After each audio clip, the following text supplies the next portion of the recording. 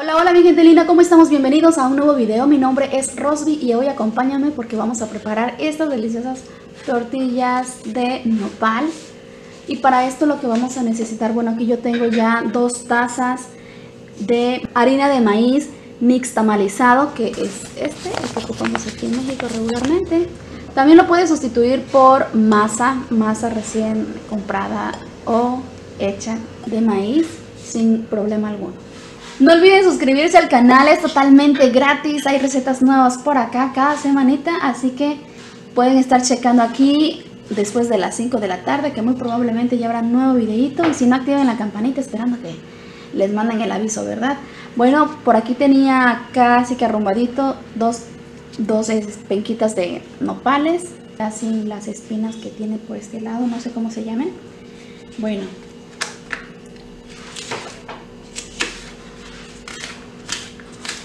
En esta ocasión vamos a usar dos y las vamos a poner todo en la licuadora.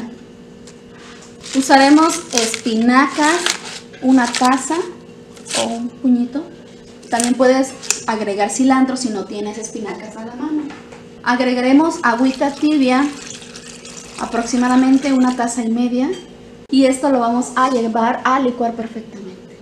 Voy a agregar un poquito de sal, sal al gusto agregar lo licuado. Y vamos a empezar a amasar.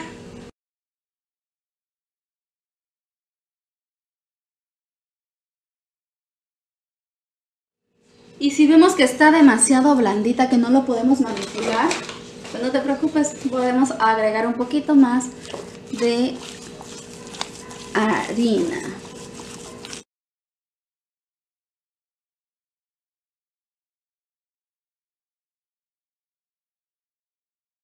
Bueno, aquí ya checamos nuestra masita. La verdad es que le agregué como unos dos puñitos más de harina de maíz hasta que tomara una consistencia un poquito más, pues más manejable, menos pegajosa. Y hay que amasarla muy bien. Le puse un poquito de sal al gusto y ya está. Nuestro comal ya debe estar caliente. En nuestro caso, nuestro comalito le ponemos un poquito de aceite o mantequita, dependiendo pero eh, si en el tuyo no se pega nada pues vamos a omitir ese paso. Preparamos nuestras tortillas como de costumbre. Y en mi caso me pongo un poquito de aceite en las manos para evitar que se pegue.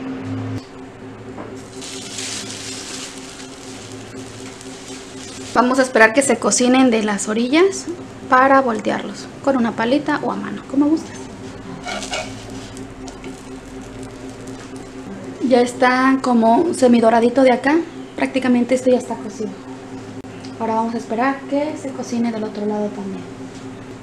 Saben deliciosas, de verdad. Espero que se animen a preparar.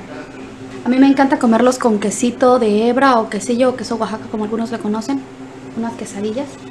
O con frijolitos refritos, qué rico. ¿Ustedes con qué lo comen?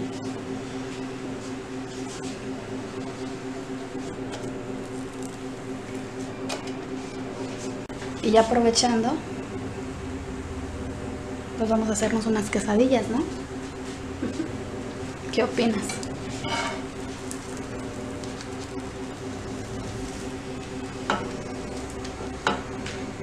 Si te está gustando no olvides regalarnos una manita arriba, también no olvides seguirnos, estamos en Facebook, Instagram, TikTok.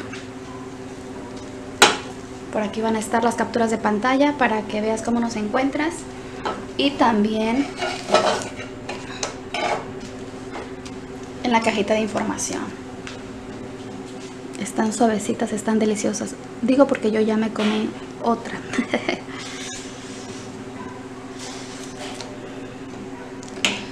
cosa. Y así nos vamos con toda nuestra masita. Qué rico. Sano, nutritivo, rico.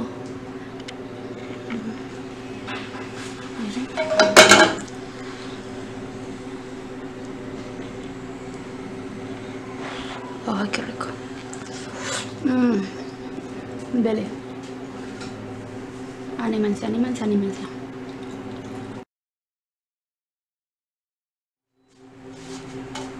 Ya está doradito. Ya se infló un poquitito. si a ustedes se les infla, ¡ay! Mis respetos. Muy bien. Sacamos o rellenamos. Pero están súper suavecitas. Y así continuamos con toda nuestra masa.